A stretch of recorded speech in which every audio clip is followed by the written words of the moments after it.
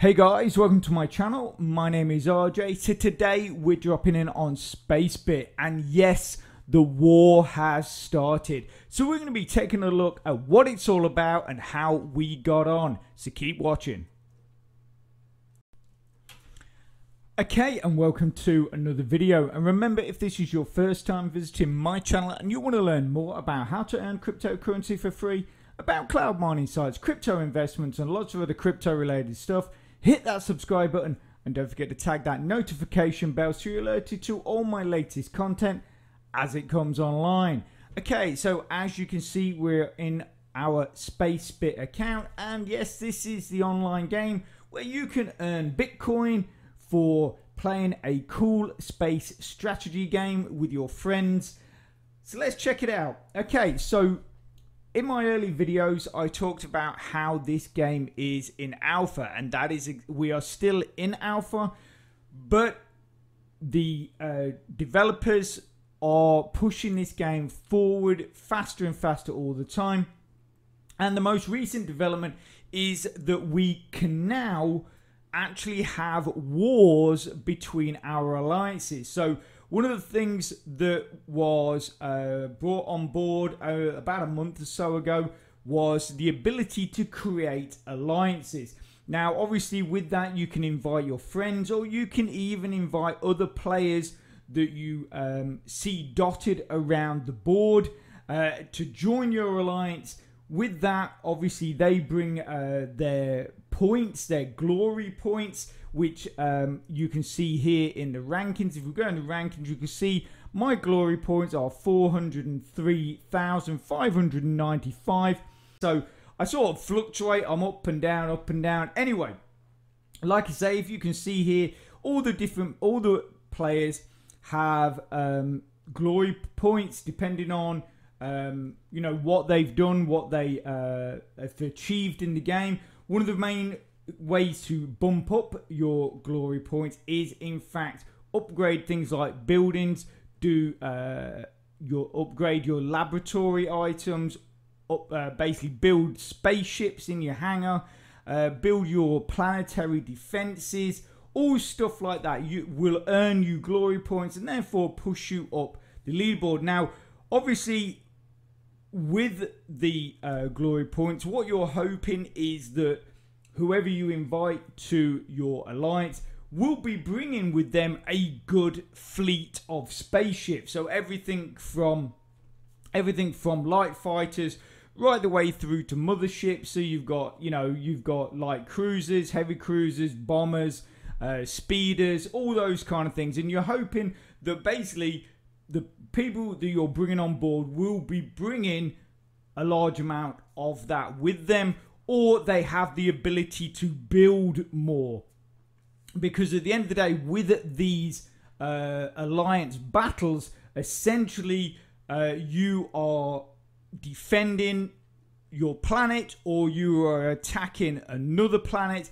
And if you don't have a lot of fighters or a lot of bombers or basically a lot of spaceships, you're not really gonna, if you're attacking them, you're not really gonna do them too much damage and if they're attacking you, you're probably going to not have a large enough force to defend your planet. So obviously that means that they would earn more points from you. And, and in this game, points mean prizes.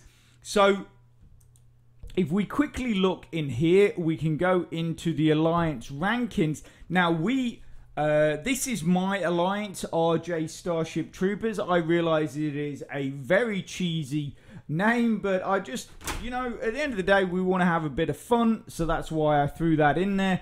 And basically, we had a, a recent battle against PT Space. Now, you can see in that battle, we won. Our total war points were 224,507 and PT Space ended up with 200,918. Now, it was a lot, I have to say, it was actually a lot closer than I expected. You know, because it, it it's the first time we did this. It's very it's actually quite difficult to organize everybody. I did set up a meeting room for the alliance in the chat, but not everybody decided to come along. Therefore, not everybody had all the information that they required to participate in the battle. And therefore, those people either did nothing or they did not do a lot. Uh, and that is basically what is going to be the defining thing between whether your alliance does well or whether you don't. And that is basically trying to get everybody together, all on the same page, all working to win your wars. And if you can get that, if you can build a really good team around you, then you're going to be triumphant. You're going to be victorious in those battles. But at the end of the day, like I say, it's early days. As you can see here, it's still saying that the first season has not actually started. Now, the reason why uh, the developers of Spacebit brought the wars online and the alliances online before actually starting the season is because they're looking for bugs. They're looking for things that are not working, things that, you know, don't quite sort of mesh or you sort of go as they should. So basically, while we're uh, sort of having our wars in this current sort of early stage, they can monitor those things. They can, or we can report to them. We can say, like, this is not working, that's not working, that stopped working.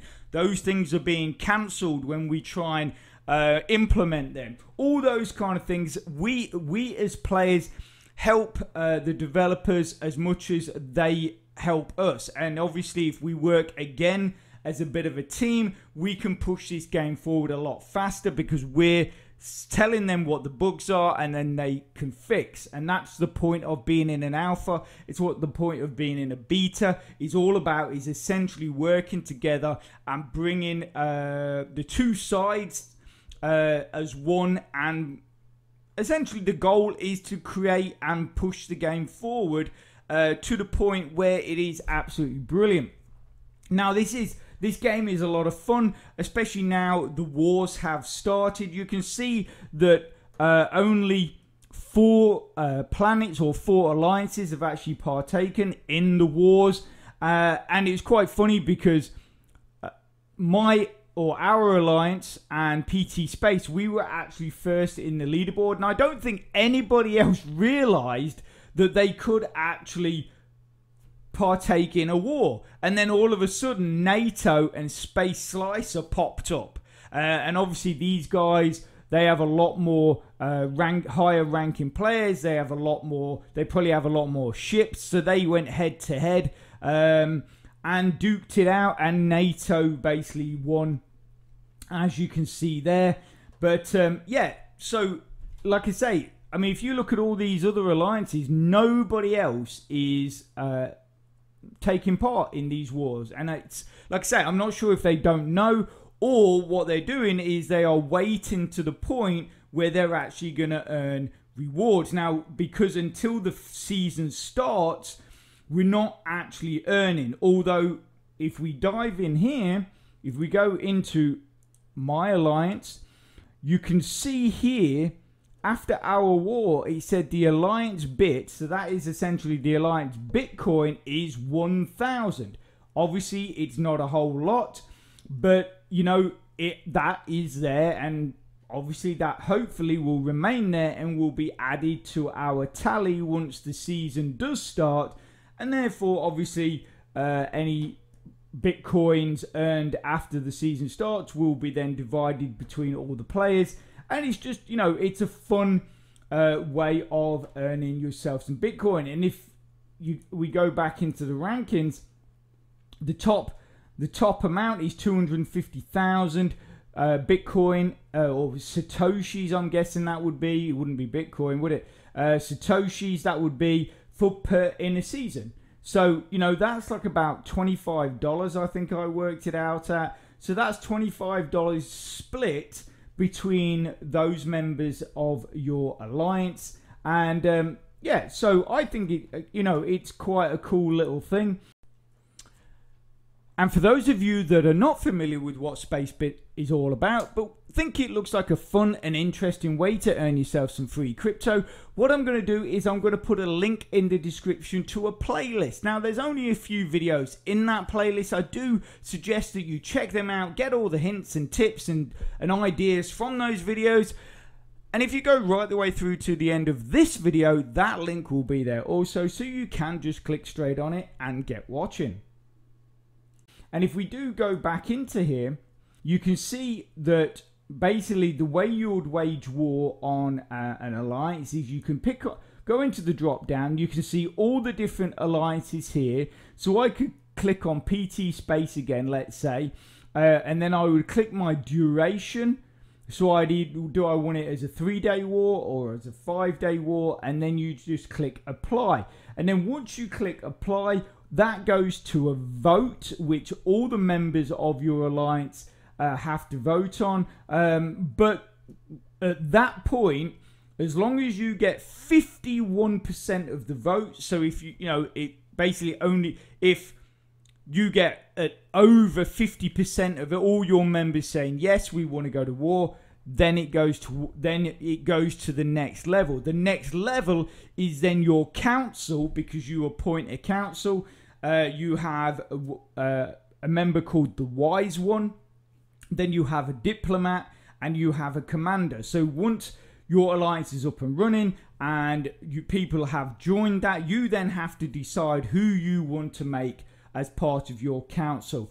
And basically, they then have the final say. But that final say has to be 100%. Even if one person from those three council members say no, that is it. The war does not go ahead. So I like that because the great thing about that is what I'm hoping and what what should really happen is you know, all the members vote, and then basically your council sort of should look at it and think, well, you know, is this a good move?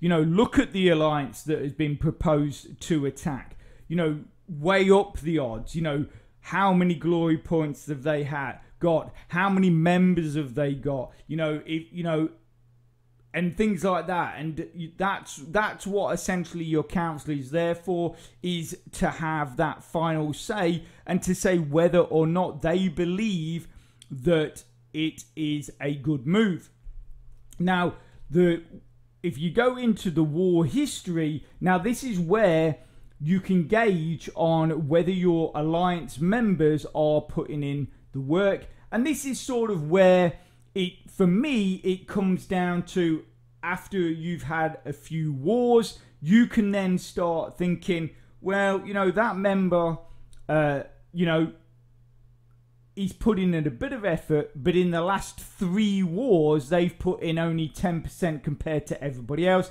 And that's where you've got to be harsh and then you just say yeah they are not basically doing our alliance any good whatsoever so i'm going to cut them. And that is what you got to that's how you got to be. It's how i am with my vmp in a crypto mining game. Basically i state that each person has to uh, achieve a certain amount every season and if they don't then they're out of there. And that but it's more difficult. This is a problem with this with spacebit. It's a lot more difficult because as you can see here as you can see here you have war points earned. Uh, you have resources delivered, so that basically the great thing is if you've got a an alliance member that has say been, been particularly targeted by your enemy, they've lost no end of ships. You can then send them ships, so you uh, or you can send them resources. You can send them metal, you can send them crystals, plastic, uh, whatever they require. You can send them. As you can see, Although this is not quite right because I actually had someone send me, um, I think it was Zoriak, sent me uh, 4 million crystals uh, and 100 ships. Uh, so thank you very much, Zoriak. Uh, and that's not been listed. But you can see here, spaceships delivered. Uh, 700 was sent by uh, S-Manic 86. Also, as well, I actually sent I think 500 ships to someone. That's not been delivered. That's not been registered. So, you know, again, we're in alpha. So, you know, some of these things probably might be a little bit glitchy. So, certain things that, you know, like I said, are not showing up, but I'm sure they will in the future. And then obviously spy mission. So you can see how many uh, people uh, were spied on. Now, Gira 72, AJ 101, and H401D. I didn't really expect a lot from these three people because they, uh, well, AJ 101 actually joined after the war, but these two I recruited sort of during the war. They had not been able, obviously, they had not attended the meeting. I did send a, a message to both of these people saying and sending coordinates of a planet very near them for them to go and attack. Now, Gira did. Uh, they attacked and got 234 war points. I know uh, H401D, um, they sent out some spy missions or one spy mission. So they did partake a little bit, but I didn't really expect a lot from those guys because, like I say, I actually recruited them during the war. And Toad Sticker, same as AJ, actually um, joined us after the war. So, you know, like I say, these bottom four, that's totally cool. Uh, you can see that uh, most people uh, participated uh, actually by uh, attacking planets um, to some degree. You can see I got 39,000 uh, war points. S Manic got nearly 28,000. You got 700 there, 5,000. 6,000, uh, 45,000, 14,000, 10,000, 55,000, 16,000, and then 2,000, um, 2,500 there.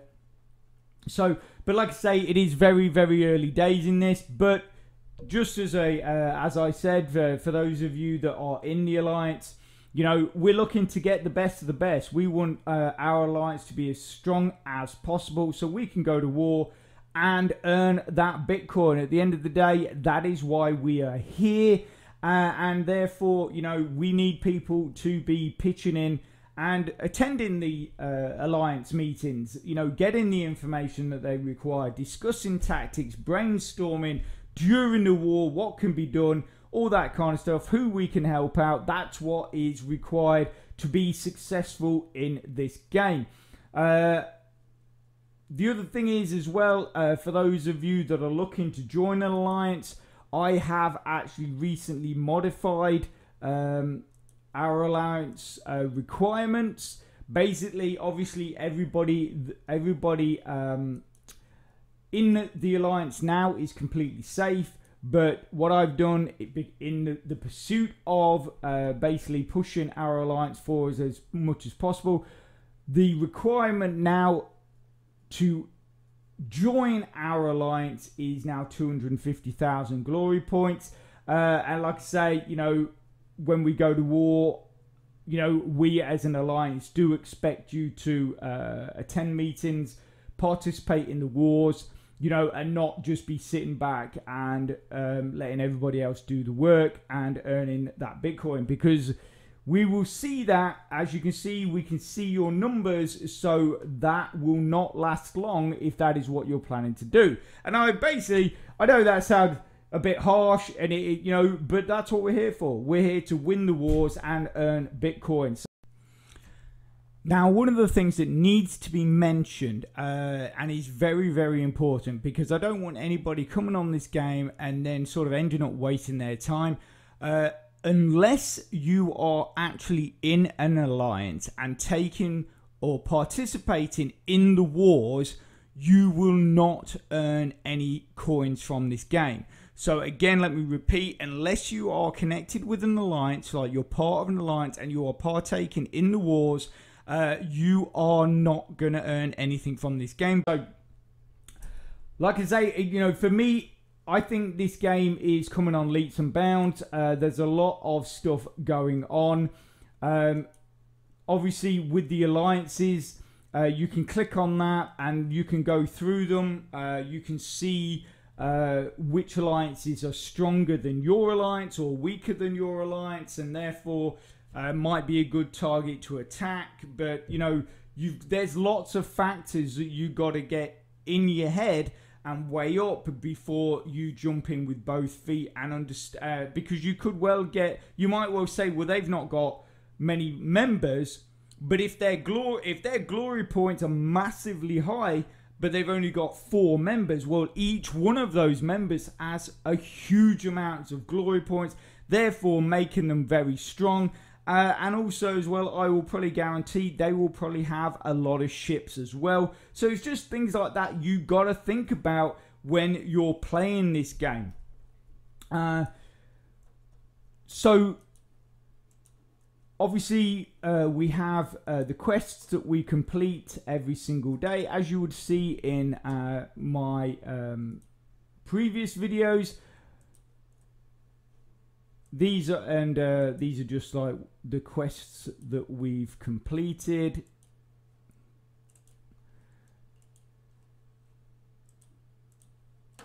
Uh, and like I say and the idea is basically for each one of these you will earn KSK uh, KSK uh, is basically going to be the in, the in-game currency. Uh, and I did see on Discord some people were talking about the upcoming uh, planetary NFTs uh, and whether you would be purchasing them with KSK. And yes, you would be. As far as I know, basically, uh, when they are brought on board, uh, you will be able to purchase uh, planetary NFTs with your KSK. And therefore, once that happens, and the colonization feature comes on board, which is something I'm hoping going to be coming very soon you will actually be able to colonize your NFTs and other planets with your uh, settlers. So, if you're wondering what that's all about, basically, if we go into settlers, so you have builders, workers, and scientists. Which so you so I could so you can designate your settlers. So basically, with every quest that you do, you will also rescue a certain amount of people from a planet, a asteroid, a comet. Why there are people on comets, I have no idea. That must be a nightmare of an existence. uh, but anyway, you do. Uh, you claim uh, settlers, and obviously, like I say, you can designate them to either be scientists, workers, or builders. But the ones that are not designated, when the colonization feature is implemented, all of these non designated settlers you can send out to other planets, whether it would be your uh, planetary NFTs or other planets that you've discovered which you can uh, inhabit yourselves. Uh, you can then send your settlers there and start a new colony. And essentially, once that happens, that then starts making you stronger.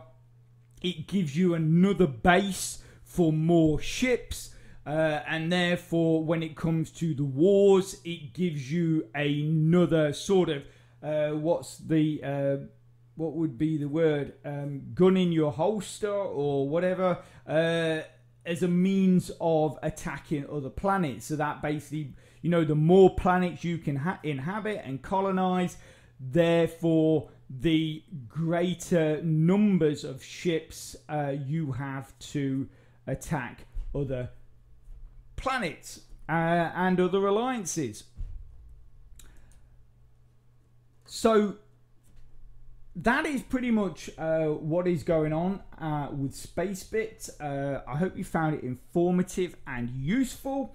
Uh, and if you can smash that like button, it really does support my channel, which then helps me bring more content to you. So take care, have a great rest of your week, and I will speak to you soon. Thanks a lot.